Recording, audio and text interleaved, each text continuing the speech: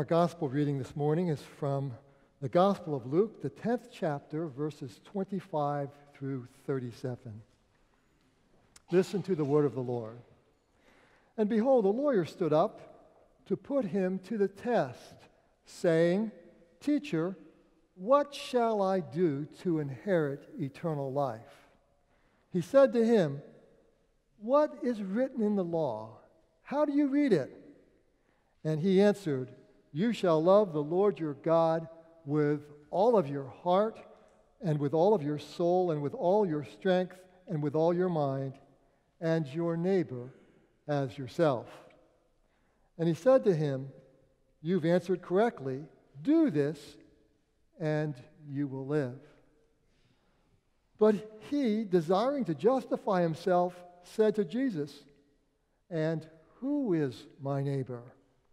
Jesus replied, A man was going down from Jerusalem to Jericho, and he fell among robbers, who stripped him and beat him and departed, leaving him half dead.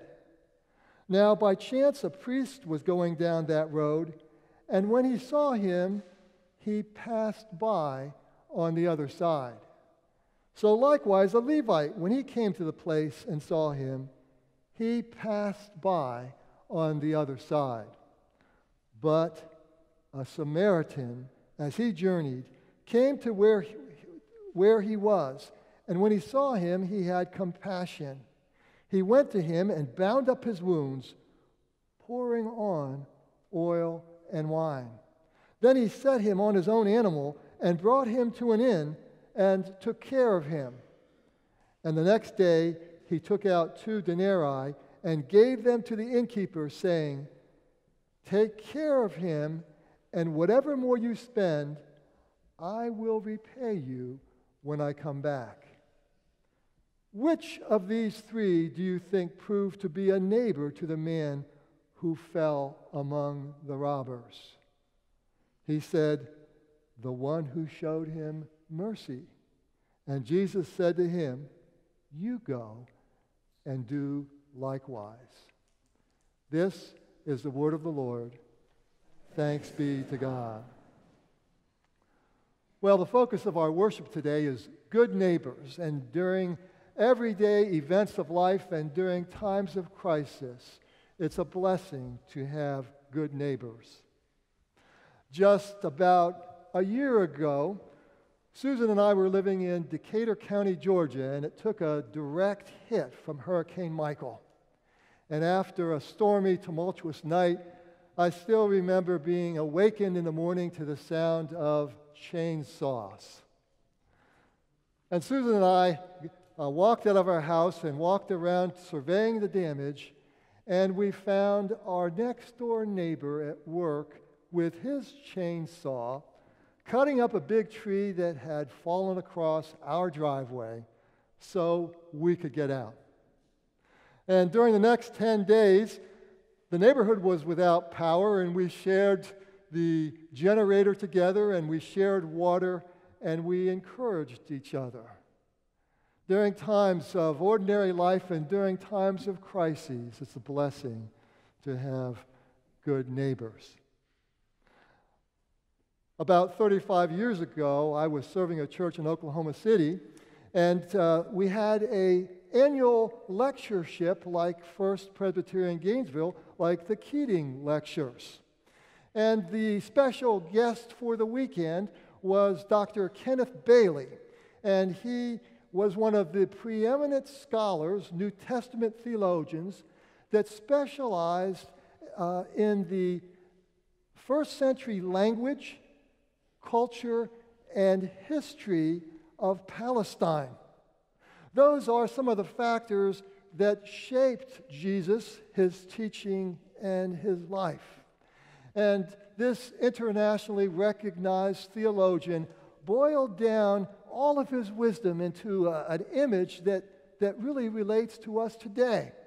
What Dr. Bailey said is that in order to find God in the New Testament documents, in order to find God and be found by God in the story of the Good Samaritan, We need to place ourselves with the first century audience that Jesus spoke to. Not at the front of the crowd, not in the middle, but we need to stand at the back of the audience and listen to Jesus' teaching through the ears of the first century audience. And so, as we open up the parable of the Good Samaritan today, we, we find right from the start the audience is nodding their heads in agreement. You see, the, the nameless man who started the journey from Jerusalem to Jericho was on a 17 mile path that was known for thieves, thugs, and brigands. And so when Jesus is telling this story and he says that the man is robbed, beaten, and left by the side of the road half dead, everyone is nodding their heads because for a thousand years, this has been the prime space for thievery and for ambushes. And then, as Jesus tells a story about a priest and a Levite who come near and see this, this uh, half dead corpse, and they pass by on the other side, the first century audience is liking the story because their professional religious leaders are doing just what is expected in the first century. For a thousand years, the job description of religious leaders is to be pure and to be very careful to keep the rules, the regulations, and the policy and procedure manuals because that testifies that God is pure and God is good. And so the audience is liking the way this story is unfolding, and obviously Jesus knows his audience. He's telling it right. And in many cultures, as is in the first century Mideast culture, stories come in three. There are uh, two people who, pre- who precede the third person who will probably be the hero of the story you have the head pastor, you have the interim pastor, and now maybe this will be the beloved chair of the worship committee. and he's going to walk straight down the path. He's going to follow uh, the, the thousand years of Old Testament guidelines. He's going to avoid anything that would make him impure and that would detract from God's purity and God's goodness. Everybody is expecting and they're ready to nod their heads and maybe clap when the hero comes on the scene. And Jesus came then, as he comes today, not to make us comfortable, but to teach us about costly compassion. And so, as the audience is waiting and primed, he introduces as the hero the detested, hated enemy of the audience. And everybody is uncomfortable. Those that don't like Jesus are angry with him because Jesus is taking the side of the hated enemies. Those who, who support Jesus are wringing their hands. They're worried because this is not going to be good for Jesus' reputation. Things could get ugly it might even get him killed. And those who are sitting on the fence wonder what in the world is going on. This story is not as it should be in first century Palestine. But Jesus goes ahead and he tells how the hated Samaritan comes and shows com- compassion, costly compassion, to the unnamed man who is lying half dead by the side of the road. And the word that, that, uh, that Jesus uses is splanchnizomai. And it's a word that goes so much beyond sympathy and pity, although deep caring is part of the word.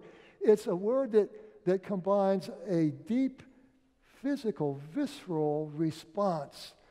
The Good Samaritan sees the half dead victim and his heart goes out to him.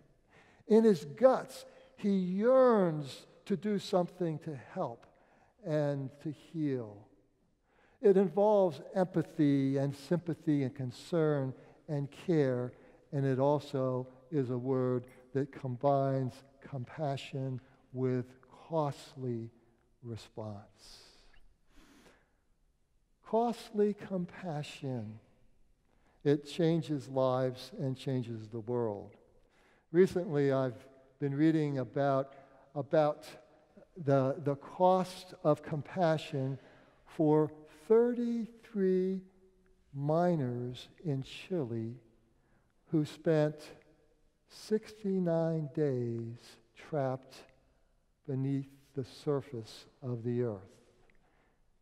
In 2010, a billion people were captivated by the rescue attempts to free those miners. They had been digging copper and gold. The main tunnel collapsed, blocking their exit. The book that, that, that describes this, this tragedy and this rescue attempt is The Deep Down Dark. While they were in the dark, praying for rescue, they recognized they could not save themselves. Somebody needed to break through down those 2,000 feet and rescue them and lift them out. Well, for those 69 days, every other day, each of the 33 trapped miners got two spoonfuls of tuna, a sip of milk, and some small morsels of peaches. And in the deep down dark, they recognized that they could not save themselves. And so they knew that Jose Henriquez, one of their members, prayed. They knew that he was a Christian, and so they asked him to pray for them. And he did that first day and for 69 days. They knelt in the deep down darkness. And many of the prayers were prayers of confession, like the one that we prayed today, but more personal because Jose got personal. He would pray and he'd say, Dear Lord, have mercy upon us. Carlos drinks too much. And we all know that Tony is not a good father.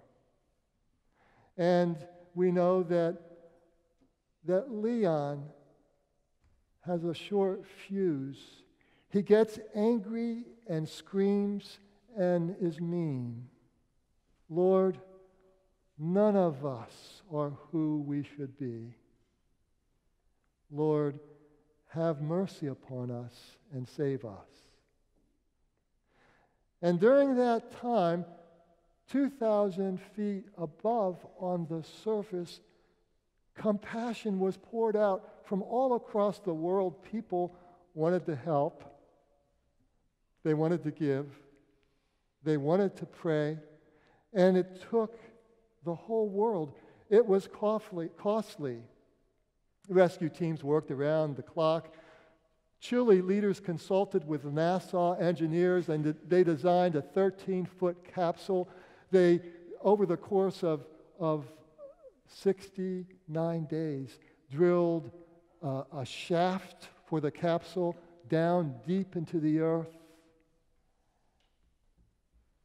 And in the deep down dark, 33 miners half dead, nearly dead. The shaft broke through.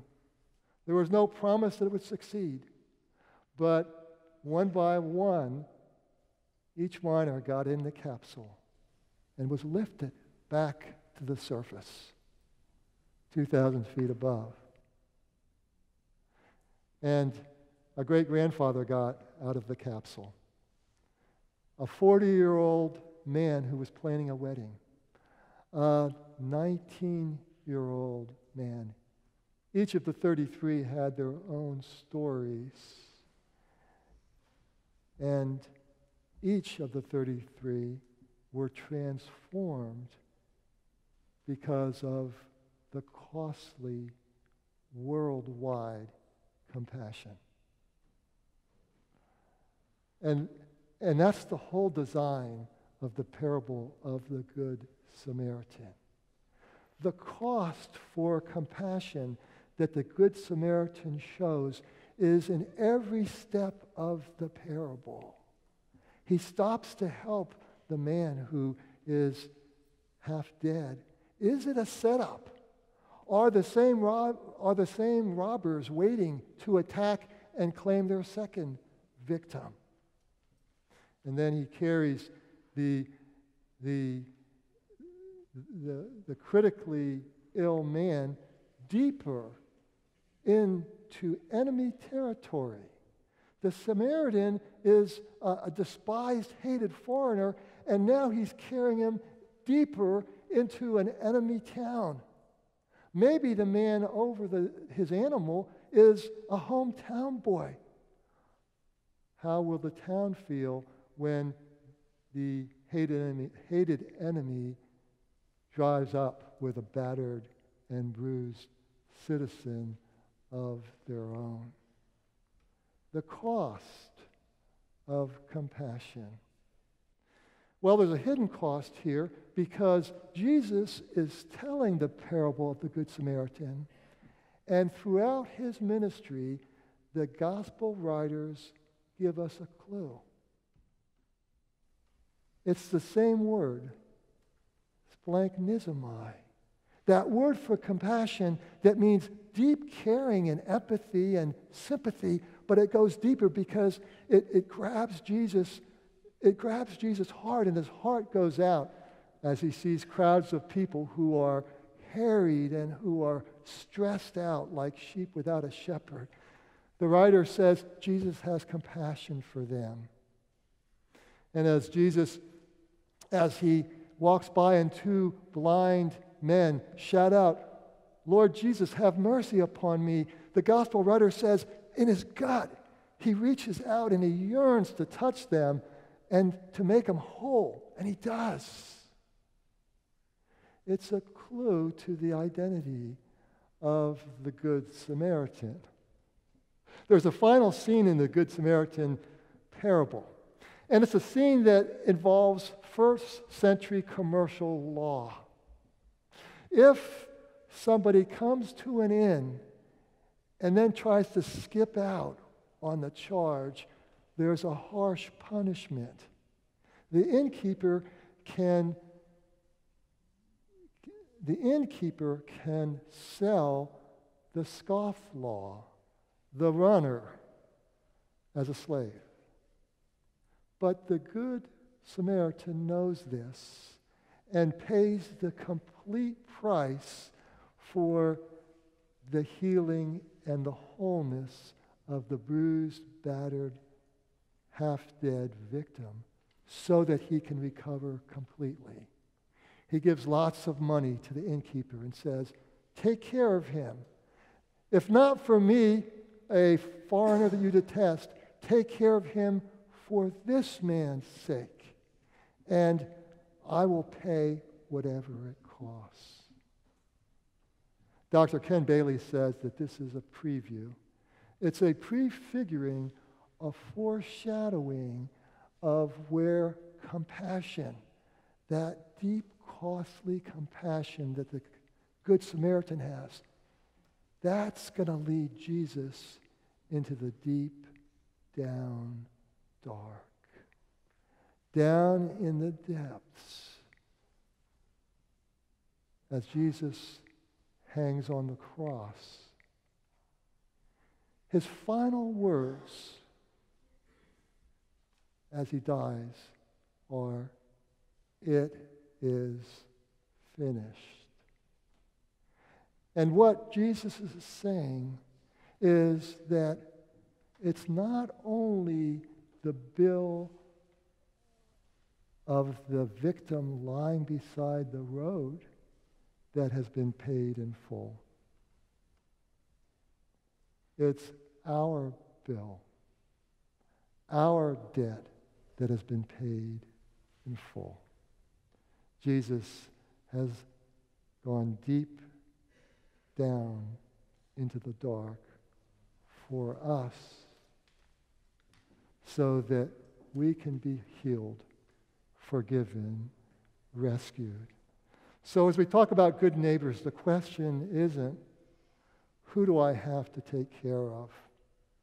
What boxes do I have to check out, check off?